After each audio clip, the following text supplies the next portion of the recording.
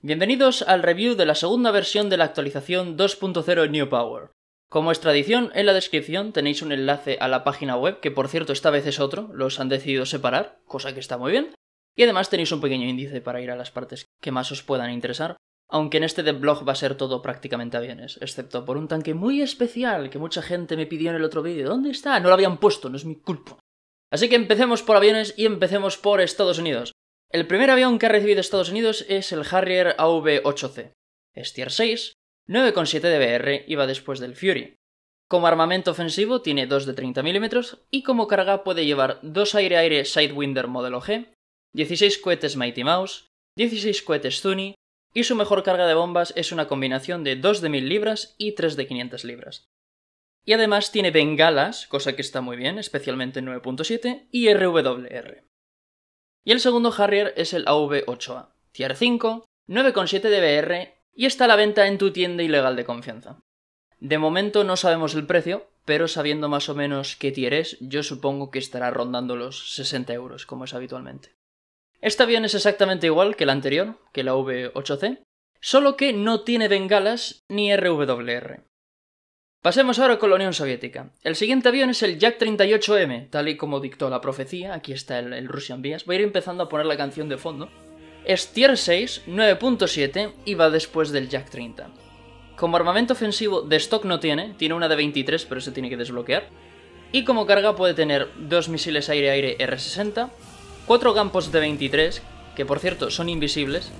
Es un tanto gracioso ver que dispara el aire 96 cohetes S5KP, 40 cohetes S8M, 4 cohetes S24B, su mejor carga de bombas es una combinación de 2 de 500 kilos y 2 de 250 kilos, y aquí es donde voy a ir subiendo la canción de fondo, porque tiene dos misiles aire-tierra, 2 AGM, KH-23M. Y estos son más o menos similar a los que ya tenemos, a los Bullpup y a los Nord, pero la diferencia super guay del Paraguay, Chachi Pistachi, es que son misiles saclos, por lo que van automáticamente a donde apunte el avión. Y están muy rotos, puedes seguir subiendo la música de. Están muy, muy rotos. Son bombas de 100 kilos guiadas. Vale, fuera con la música porque me va a petar el copyright. Y el segundo avión es la versión premium del el Jack 38M. El Jack 38. Tier 5, 9,7 BR y no sé si será premium con águilas o premium en tu tienda ilegal de confianza. Yo creo que será la tienda ilegal de confianza. Es exactamente igual que el Jack 38M que hemos visto antes, pero tiene menos combinaciones con misiles aire-aire. Nada más. Por el resto es igual. Y Reino Unido ha recibido el último Harrier que faltaba, el GR3. Tier 5, 9,7 dBr y va después del Swift F7. Y es exactamente igual que el GR1 que ya teníamos, solo que los misiles SRAM han sido sustituidos por 9G y además tiene bengalas. Cosa que está bastante bien, porque los premium no tienen bengalas y los no premium sí, así que por lo menos no es pay to win. Y ahora pasemos con el plato fuerte. Bueno, creo que el plato fuerte ya lo hemos dicho, pero bueno. Siguiente plato fuerte. El T90 Tier 7, 10,7 dBr y va después del T72B3.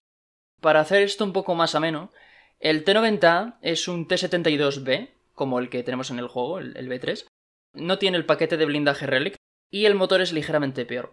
Pero, a cambio, tiene una HE con espoleta de distancia, una flecha nueva que perfora 526 milímetros, y el punto fuerte es el Stora 1, que es el primer APS del juego, el Active Protection System.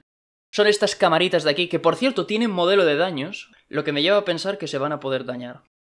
Este APS es una contramedida de infrarrojos, es un APS soft kill. Lo que hace es interferir con los misiles guiados por láser y por infrarrojos, y también interfiere con las medidas de los telémetros láser.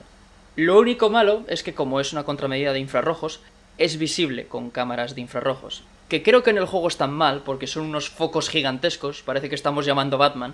Yo creo que realmente no va a funcionar así, aunque las cámaras sí que se van a poder ver, y para ocultar esta señal lo que podemos hacer es apagarlo. Por cierto, antes de que se me olvide, este tanque no es nuevo, pero como en el vídeo anterior se me perdió el archivo, pues aquí tenéis el Celere sahariano, el tanque sin cuello. Y finalmente, que no es un tanque nuevo, pero es un cambio, el Brenus, el MX-30B2 Brenus, tiene APS funcional. Ahora el APS que tenía encima de la torreta funciona. El funcionamiento es exactamente el mismo que el del T90, igualito. Y dos pequeños cambios antes de dejar el vídeo. El primero es que hay un mapa nuevo llamado Ciudad, que va a ser para aviones arcade, porque... ¿Quién importa realistas, no? Y no lo podemos jugar, porque no lo han metido en el juego todavía, así que queda en el aire. Jaja, porque es aviones lo pillas, ya, ya me voy. Bueno, no, antes se me olvidó una cosa. Un cambio nuevo, que me gusta y no me gusta. Han quitado el humo de los puntos de captura en batallas de tanques y de barcos. Eso está bien, porque ahora el humo no tapa lo que hay detrás, pero lo han sustituido con un HUD nuevo que pone un marcador sobre el objetivo. Y eso está mal porque está haciendo exactamente lo mismo que el humo. Está tapando a los objetivos que hay ahí. El problema es que esto, al ser un elemento del HUD, se sobrepone a absolutamente todo lo que hay en el juego. Por lo que esto es más contraproducente que beneficioso. Espero que lo cambien. A mí personalmente me gustaba mucho que los marcadores estuviesen arriba. Está muy bien que sean más pequeñitos, pero no pueden estar más o menos a la altura en la que están los tanques, tienen que estar más arriba, porque si no están obstaculizando la vista.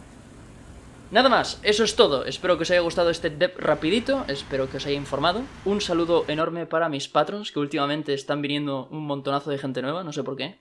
No sé qué he hecho bien, pero bueno, me alegro.